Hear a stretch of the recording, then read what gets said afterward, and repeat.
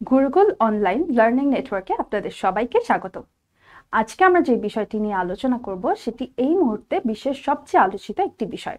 আজকে আমরা আলোচনা করব রাশিয়া বনাম ইউক্রেন যুদ্ধ নিয়ে এবং এই যুদ্ধের মাধ্যমে তৃতীয় বিশ্বযুদ্ধের সম্ভাবনা কতটুকু সেটা নিয়েও আমরা আজকে আলোচনা করব। প্রথমেই জেনে নেই, এই পাঠ শেষে আমরা কি কি জানতে পারব। প্রথম যে বিষয়টি আমরা জানতে পারব সেটি হচ্ছে রাশিয়া এবং ইউক্রেনের যুদ্ধের পেছনের ইতিহাস। যে যুদ্ধটি এখন হচ্ছে সেটা কিন্তু এক দুই দিনের কোনো বিষয় না, বরং দীর্ঘ সময় ধরে একটা ইতিহাসের কারণে এই যুদ্ধের প্রেক্ষাপটটা তৈরি হয়েছে। তারপর আমরা যেটা জানার চেষ্টা করব, যুদ্ধের ন্যাটোর ভূমিকাটা কি? আমরা কিন্তু কন্টিনিউয়াসলি এই যুদ্ধের সাথে ন্যাটোর একটা নামটা শুনতে পাই সবসময়, এই ন্যাটো আসলে কি এবং এই যুদ্ধে ন্যাটো কি ভূমিকা পালন করছে সেটা আমরা আজকে জানার চেষ্টা করব। এবং আগেই যেটা বলেছি, এই যুদ্ধের কারণে তৃতীয় বিশ্বযুদ্ধের কোনো সম্ভাবনা তৈরি হয় কিনা সেটাও আমরা আজকে এই আলোচনার মধ্যে এই আলোচনার মাধ্যমে জানার চেষ্টা করব। প্রথমেই জেনে নেই ইউক্রেন এবং রাশিয়া যুদ্ধের বর্তমান পরিস্থিতিটি কি। আমরা সবাই ইতোমধ্যে জানি যে রাশিয়া ইউক্রেনকে আক্রমণ করেছে চব্বিশ ফেব্রুয়ারি দুহাজার বাইশ সালে এবং এক সপ্তাহের মধ্যে, অর্থাৎ চব্বিশ ফেব্রুয়ারি থেকে দুই মার্চ পর্যন্ত ইউক্রেনে হতাহতের সংখ্যা হচ্ছে দুই হাজার এবং কিন্তু রাশিয়ার মতে সংখ্যাটি হচ্ছে দু হাজার আটশো সত্তর।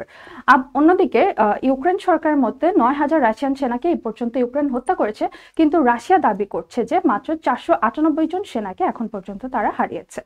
খার্কিভ শহরে বিমান হামলায় মৃতের সংখ্যা একুশ এবং জাইটোমেরে ক্রুজ মিসাইল অ্যাটাকে মৃতের সংখ্যা চার।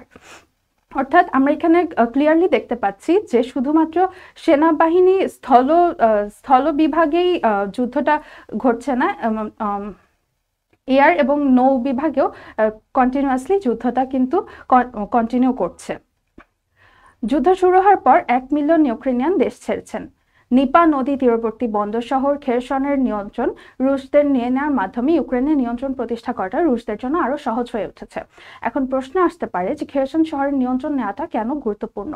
এর কারণ হচ্ছে এটি একটি বন্দর শহর এবং এর সাথেই সরাসরি কৃষ্ণসাগরটা যুক্ত। অর্থাৎ যদি ইউক্রেনের ইউক্রেন বাইরে থেকে যে সাহায্যগুলো পাচ্ছে, যে রিলিফ এবং অস্ত্র সাহায্য ইউক্রেন বাইরে থেকে পাচ্ছে, সেগুলো যদি বন্ধ করে দিতে হয়, তাহলে কিন্তু এই শহরের নিয়ন্ত্রণটা নিয়ে নিতে হবে। শুধুমাত্র রিলিফ বন্ধ না, একই সাথে রুশরা যদি চায় সরাসরি ইউক্রেনে ঢুকে যেতে, তার অস্ত্র আনা এবং যুদ্ধের প্রয়োজনীয় যত রসদ সবকিছু কিন্তু কৃষ্ণ শহর দিয়ে, এই নিপা নদী তীরবর্তী খেরসন শহর দিয়েই তারা ইউক্রেনে নিয়ে যেতে পারে। আঠাশ ফেব্রুয়ারি রাশিয়ার পারমাণবিক বোমা ডিপার্টমেন্টকে অ্যালার্ট থাকতে বলা হয়েছে। এই অ্যালার্টে থাকতে বলার কারণ হচ্ছে সুইফট প্যান। এই সুইফট প্যান কি একটু পরেই আমরা সেটা নিয়ে আলোচনা করব। আরেকটি ইম্পর্ট্যান্ট তথ্য হচ্ছে, পূর্বে ইউক্রেনের রুশপন্থী বিদ্রোহীদের দুইটি অঞ্চল, ডনেক্স এবং লুহান্সকে স্বাধীন রাষ্ট্র স্বীকৃতি দিয়েছে রাশিয়ার প্রেসিডেন্ট ভ্লাদিমির পুতিন। এবং এই স্বীকৃতির মাধ্যমে কিন্তু এই যুদ্ধটা মূলত শুরু হয়ে গেছে। আরও কিছু তথ্য আমরা জেনে রাখি। এখানে আপনারা দেখতে পাচ্ছেন ইউক্রেন এবং রাশিয়ার হাতে সেনা সংখ্যা কত আছে সেটার একটা স্ট্যাটিস্টিক এখানে দেওয়া আছে। আমরা দেখতে পাচ্ছি যে ইউক্রেনের হাতে মোট সেনা সংখ্যা দুই লাখ এবং রাশিয়ার হাতে প্রায় আট লাখ।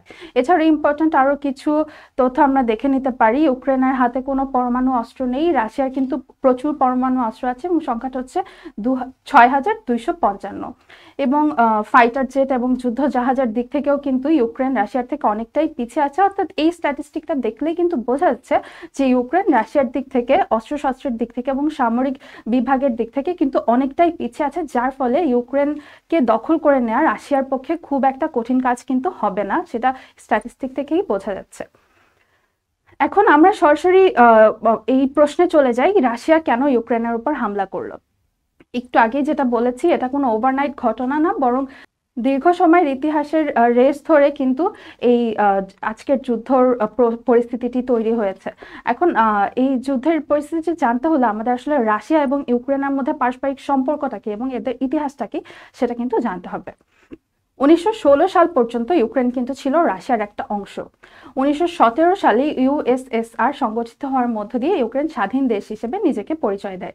উনিশশো বিশ সালে আবারও কিন্তু রাশিয়ার সাথে যুক্ত হয়েছে ইউক্রেন এবং তখন ভ্লামিদির লেলিন বলেছিল, ইউক্রেন হচ্ছে রাশিয়ার মাথা। অর্থাৎ ইউক্রেনকে কিন্তু রাশিয়া খুবই ইম্পর্টেন্ট একটি দেশ বা রাজ্য হিসেবে অনেক আগে থেকেই কনসিডার করে আসছে।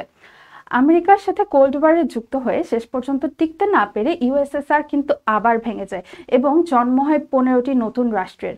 এবং সেই সময়ও ইউক্রেনও স্বাধীন হয়ে যায় এবং উনিশশো একানব্বই সাল থেকে ইউক্রেন কিন্তু স্বাধীন একটি দেশ হিসেবে পরিচয় লাভ করে। এখানে আপনারা দেখতে পাচ্ছেন যে সোভিয়েত রাশিয়া ভেঙে গিয়ে কোন কোন দেশগুলো গঠিত হয়েছে। এখানে দেখা যাচ্ছে কাজাকিস্তান, উজবেকিস্তান লাটভিয়া এবং ইউক্রেন, এই সবগুলো দেশ কিন্তু সোভিয়েত রাশিয়া ভেঙে গিয়ে একই সাথে জন্ম নিয়েছে। এখন আমরা জানার চেষ্টা করি যে এই যুদ্ধে ন্যাটোর প্রভাবটা কি বা কেন আমরা বারবার ন্যাটোর কথাটাই শুনছি? প্রথমেই জানতে হবে যে ন্যাটো কি? ন্যাটো হচ্ছে দ্বিতীয় বিশ্বযুদ্ধের সময় যখন কোল্ড ওয়ার চলছিল, তখন আমেরিকা রাশিয়াকে কাবু করে ফেলার একটা ওয়ে বলা যেতে পারে।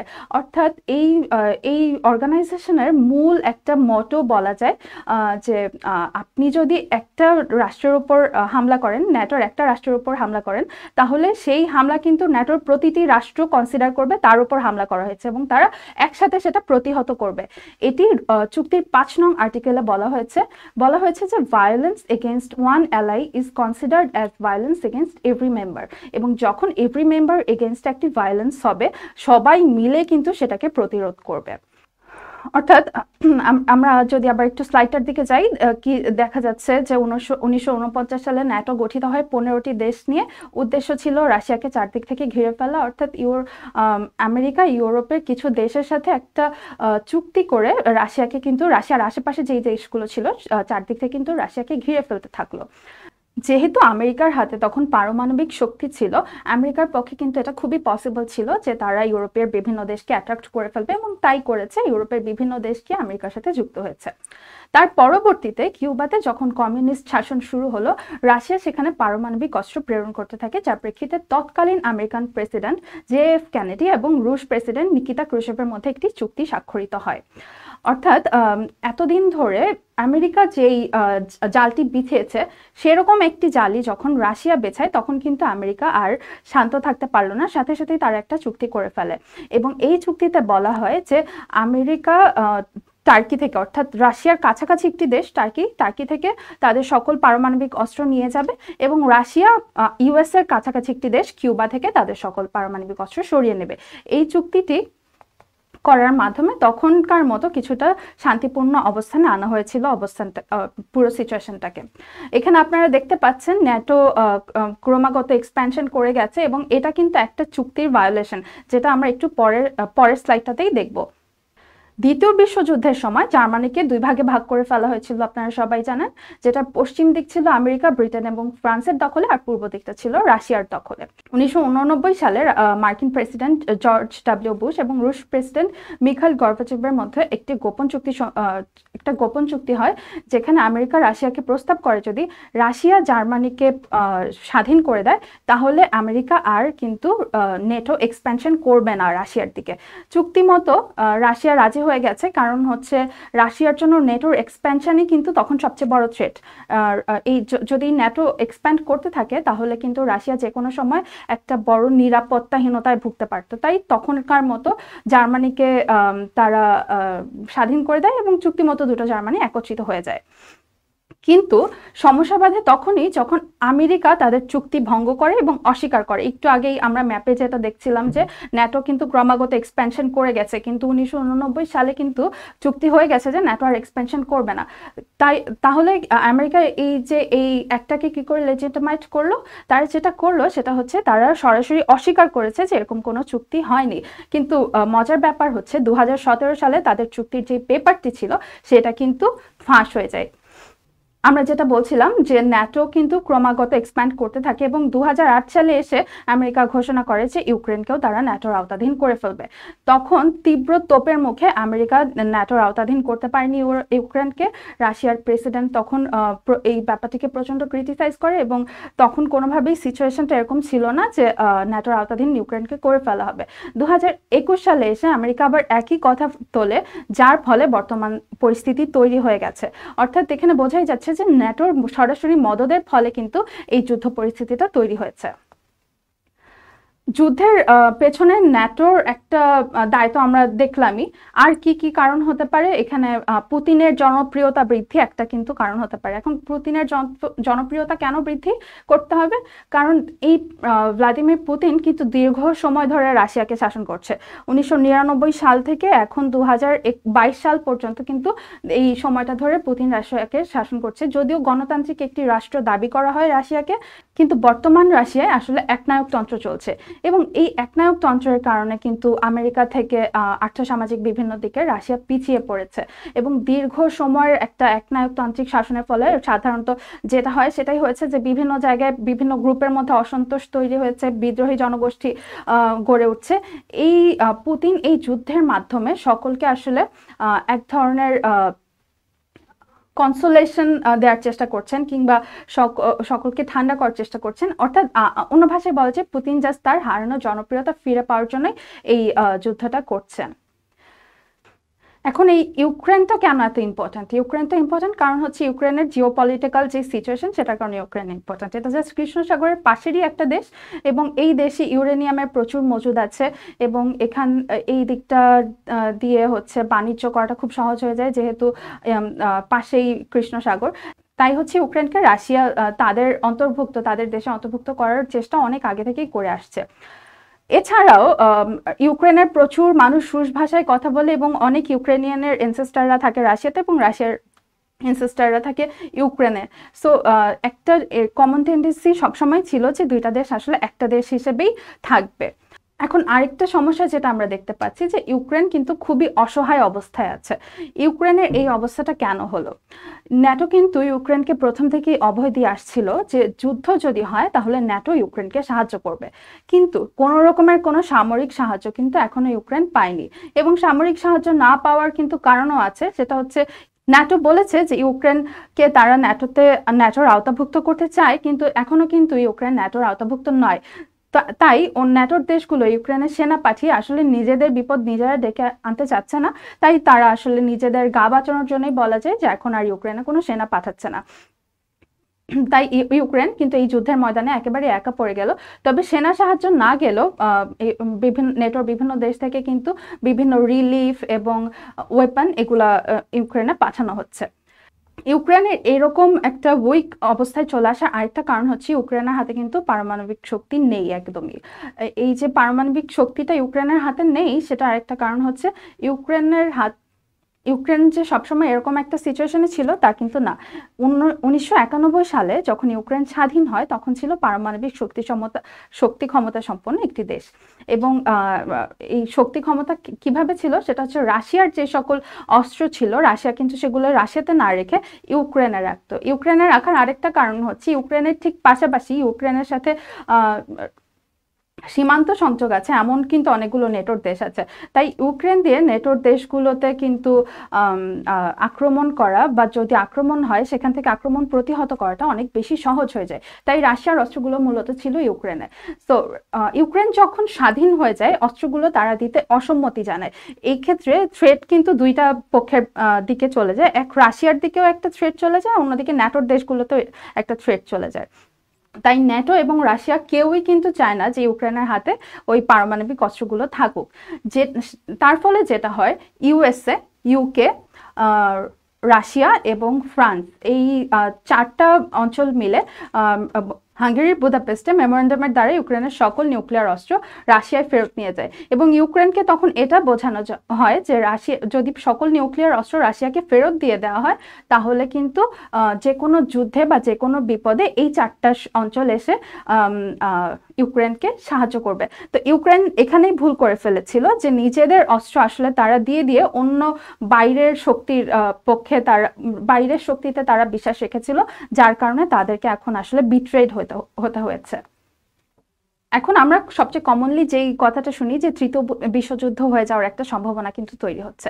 আসলে কি তৃতীয় বিশ্বযুদ্ধ হবে? যদি হয় কেন হবে?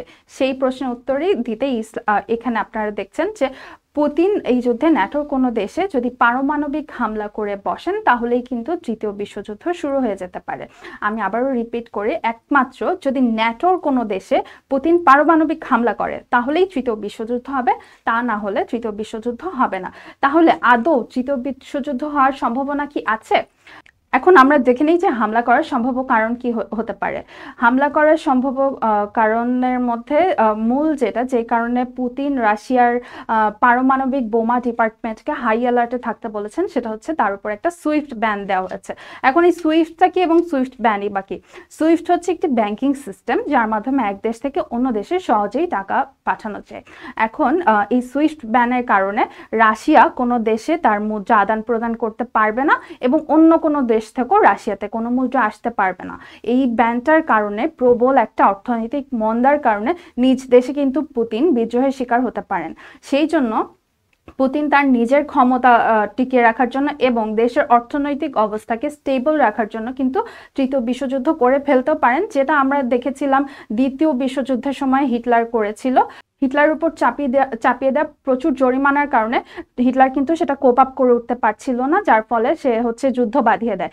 এখন রাশিয়াকেও যদি এরকম অর্থনৈতিকভাবে খুব একটা প্রেশারের মধ্যে রাখা হয়, তাহলে কিন্তু রাশিয়ার হাতে আসলে কোনো অপশন থাকবে না তৃতীয় বিশ্বযুদ্ধ করা ছাড়া। তাহলে পারমাণবিক হামলার সম্ভাবনা কি আদৌ আছে? সম্ভাবনা প্রায় শূন্য। বিভিন্ন আন্তর্জাতিক সম্পর্ক বিষয়ে যারা অধ্যয়ন করেন, তারা বলছেন যে সম্ভাবনা নেই। তার কারণ হিসেবে তারা কিন্তু তিনটা থিওরি বা তিনটা কারণকে আইডেন্টিফাই করেছেন। প্রথম থিওরিটি হচ্ছে নিউক্লিয়ার ডিটারেন্স থিওরি অর্থাৎ এই থিওরি অনুযায়ী বলা হয়, যখন দুইটি দেশে সমান পরিমাণ পারমাণবিক অস্ত্র থাকে, কোনো দেশই অন্য দেশের ওপর হামলা করে না। এখন যদি যুদ্ধ হয়, তাহলে সেটা ইউএসএ এবং রাশিয়ার মধ্যে হবে। আমরা যদি তাদের নিউক্লিয়ার ওয়েপনের সংখ্যা বা তাদের সামরিক শক্তি, যুদ্ধ বিমান, প্রভৃতির সংখ্যা দেখি, তারা কিন্তু প্রায় তাদের কাছে সমান সংখ্যক অস্ত্র আছে। এখন যদি রাশিয়া ইউএসএ কে হামলা করে বসে, তাহলে কিন্তু ইউএসএও বসে থাকবে না। সেও কিন্তু পাল্টা হামলা করে দুই দেশটি দুই দেশকে একদম ঘুরিয়ে দিতে পারে। এই যে একটা দেশ আরেকটা দেশকে একেবারেই শেষ করে ফেলতে পারে, এটা হচ্ছে মিউচুয়াল অ্যাসিওর ডিস্ট্রাকশন বা ম্যাট থিওরি অর্থাৎ নিউক্লিয়ার ডিটারেন্স থিওরি বলছে কি, যখন দুই দেশেই সমান পরিমাণ অস্ত্র আছে, তার এক দেশ আরেক দেশকে ভয়ে হামলা করবে না, যে তাতে তার ওপরও হামলা হতে পারে। আর মিউচুয়াল অ্যাসিওর ডিস্ট্রাকশন বা ম্যাড হচ্ছে দুই দেশই দুই দেশকে ইন্টেনশনালি বা ডেলিবারেটলি ওরা একদম শেষ করে দিতে পারে। দ্বিতীয়ত আরেকটি কারণ হচ্ছে যেহেতু আমেরিকা বা নেটোর কোনো দেশ ইউক্রেনে কোনো সৈন্য পাঠাচ্ছে না, তাই আসলে রাশিয়ার হাতে লেজিট কোনো কারণ নেই যে সে ন্যাটোর কোনো দেশকে হামলা করবে। একমাত্র যখন ন্যাটোর কোনো সৈন্য ইউক্রেনে গিয়ে যুদ্ধ শুরু করবে, তখনই কিন্তু রাশিয়ার হাতে একটা রিজন থাকবে যে সে গিয়ে একটা যুদ্ধ বাধায় আমেরিকাতে বা ন্যাটোতে ন্যাটোর অন্যান্য দেশগুলোতে। আরেকটি থিওরি হচ্ছে ম্যাডম্যান থিওরি। অর্থাৎ এখানে বলা হচ্ছে যে পুতিন কেবলই মানুষকে ভয় দেখানোর চেষ্টা করছেন। এটা বলে যে, আমি আসলে খুবই রাগী একটা মানুষ, আমাকে রাগিও না, তাহলে কিন্তু আমি সবকিছু যুদ্ধ বাধায় দিব বা সবকিছু নষ্ট করে ফেলতে পারি। এই ম্যাডম্যান থিওরিটা আসলে বলে যে, এটা মানুষকে ভয় দেখানোর বা মানুষকে ডমিনেট করার একটা মাধ্যম কেবল এই থিওরিতে মানুষ জাস্ট এই মানুষ জাস্ট একটা ম্যাডম্যানের মতো আচরণ করে। আদতে সে কোনো ম্যাডম্যান না। এই আচরণের মাধ্যমে সে তার শাসন জারি রাখার চেষ্টা করে। এখন পর্যন্ত আমরা কিন্তু তিনজন ম্যাডম্যানকে আমাদের খুব পরিচিত। একজন হচ্ছে আমেরিকার প্রেসিডেন্ট রিচার্ড নিক্সন, আরেকজনকে আমরা সবাই চিনি, আমেরিকার প্রেসিডেন্ট ডোনাল্ড ট্রাম্প এবং তৃতীয় এই পুতিন এই রাশিয়ার প্রেসিডেন্ট ভ্লাদিমির পুতিন। অর্থাৎ ইতিহাস বলে যে ম্যাডম্যানরা আসলে কিন্তু খুব একটা গোলযোগ বাঁধিয়ে দেয় না, বাট তারা কন্টিনিউয়াসলি একটা গোলযোগের থ্রেড দিতে থাকে। অর্থাৎ এই তিনটা থিওরি অ্যানালাইজ করলে দেখা যায় যে আসলে যুদ্ধের তেমন কোনো সম্ভাবনা নেই। এক হচ্ছে দুই পক্ষের কাছেই সমান পারমাণবিক অস্ত্র আছে, সেই জন্য দ্বিতীয়ত রাশিয়ার আসলে লেজিট কোনো কারণ নেই যুদ্ধ বাঁধানোর। তৃতীয় হচ্ছে ভ্লাদিমির পুতিন জাস্ট চেষ্টা করছে মানুষকে ভয় দেখিয়ে দমিয়ে রাখার। তার আসলে যদি ইন্টেনশন থাকতো আরও বড় কোনো যুদ্ধ বাঁধানোর, সেটা সে বাঁধাতে পারতো। রাশিয়া এবং ইউক্রেনের যুদ্ধ বাধার বাধার পর কিন্তু এখন পর্যন্ত দুইটি বৈঠক হয়েছে। বেলারুশের গোমেল অঞ্চলে ইউক্রেন এবং রাশিয়ার প্রথম বৈঠক অনুষ্ঠিত হয়। কোনো সমাধানে না পৌঁছেই রাশিয়া এবং ইউক্রেনের মধ্যে প্রথম দিনে শান্তিপূর্ণ বৈঠক শেষ হয়ে গেছে। এদিকে বৈঠকের আগেই এক বিবৃতিতে ইউক্রেন জানায়, আলোচনার মূল বিষয়বস্তু হবে তাৎক্ষণিক যুদ্ধবিরতি ও ইউক্রেন থেকে রাশিয়ার সেনা প্রত্যাহার। তবে নিজেদের উদ্দেশ্য নিয়ে কোনো মন্তব্য করতে রাজি হয়নি মস্কো। অস্ত্রবিরতি প্রশ্নে আলোচনার জন্য বেলারুশে দ্বিতীয় দফার বৈঠকে বসে ইউক্রেনীয় ও রুশ প্রতিনিধি দল। দ্বিতীয় দফার আলোচনায় বেসামরিক নাগরিকদের নিরাপদে সরিয়ে নিতে মানবিক করিডোর তৈরি করার ব্যাপারে সম্মতি হয়েছে সম্মত হয়েছে রাশিয়া এবং ইউক্রেন। ইউক্রেনের প্রেসিডেন্ট প্রেসিডেন্টের উপদেষ্টা মিখাইল পেদোলিয়াক রয়টার্সকে বলেন, বেসামরিক নাগরিকদের নিরাপদে সরিয়ে দেওয়ার অনুমতি দিতে সম্ভাব্য সাময়িক একটি অস্ত্রবিরতির ব্যাপারে সম্মতি, সম্মত হয়েছে দুই পক্ষ।